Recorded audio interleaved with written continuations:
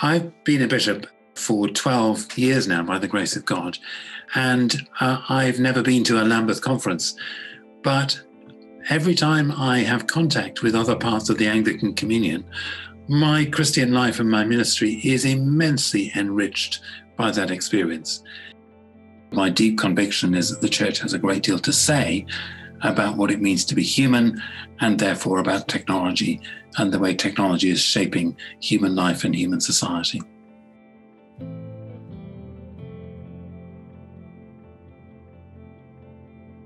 The church has huge amounts to learn, but also huge amounts to give at this hinge moment of significant change.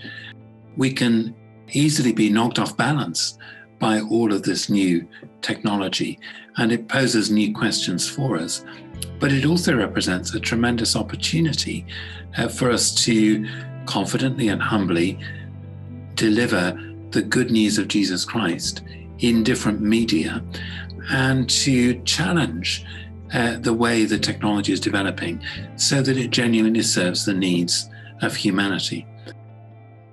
What began to really keep me awake at night uh, in ways I hadn't anticipated was the real and present possibilities and dangers of what's called narrow artificial intelligence. Machines functioning across quite a narrow range of human skill, but with a speed or depth or intensity that human intelligence uh, can't match. That has huge potential for good, but there are also real dangers uh, in terms of delegating decision making to algorithms and what that does to our humanity. All the world over, uh, governments are engaging with the challenge of regulating the internet, social media, the big technology companies. By what principles do we do that? And what does the Christian church have to say about those issues. I think those things will determine much of human life across our whole world over the next generation. I think church leaders have an absolutely vital uh, role to play, holding a conversation in two directions. These next decades will be decades when the whole world is asking deep questions of what it means to be human, what it means to flourish as a good, wholesome society. As Christians, we need to contribute it confidently and in the language of the science and technology. And that means daring to step into these new fields and engage with them creatively as part of my role as one of the Church of England bishops in the House of Lords.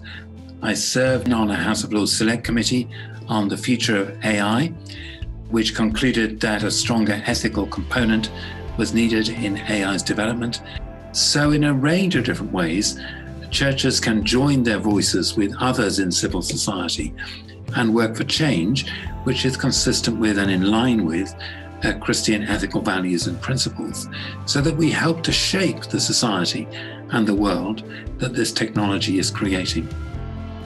I think it's absolutely vital for the Christian church around the world to speak together and consistently from our ethical and faith position to these great questions of our age. The Christian Church is one of the true few really global organizations, and the Anglican Communion is a very important part of the global church. So, if we're able to connect together, as we're beginning to do through the preparatory work for the Science Commission, uh, the views of Christians in uh, Africa, uh, in India, in Asia, in uh, North and South America, and in Europe, we can have a debate and a dialogue going, encouraging each other to use our voices in our own context, but also speaking to and through the world through international uh, instruments of collaboration such as the United Nations, so that we are uh, reflecting on the common problems uh, of the planet. Technology uh, will bring changes to all of our ways of life.